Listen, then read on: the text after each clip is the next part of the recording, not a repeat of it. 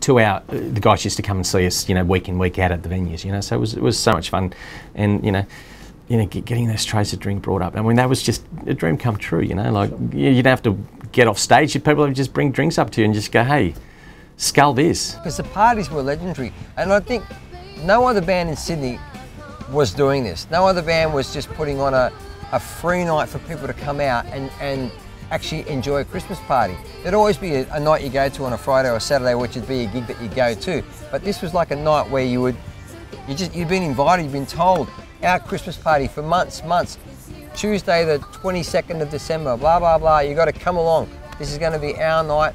And it would just become like a cult night every year. It was actually some of the best gigs we'd ever done. You know, some of the best memories we'd ever had.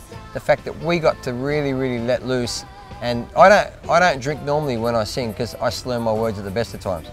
I struggle with English normally. So having a couple of beers on stage just doesn't help.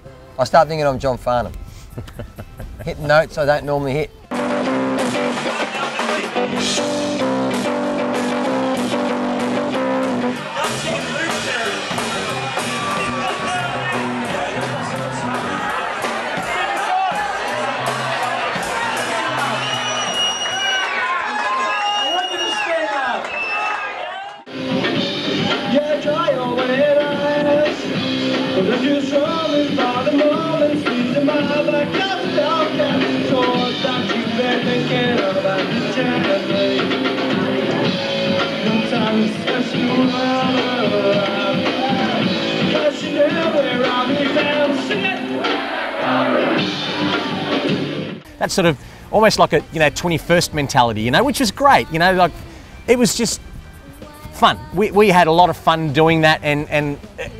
how we got through those nights, I still don't remember, but we somehow managed to get through, and I think it was one of our best sounding nights, to be honest with you, because it was raw.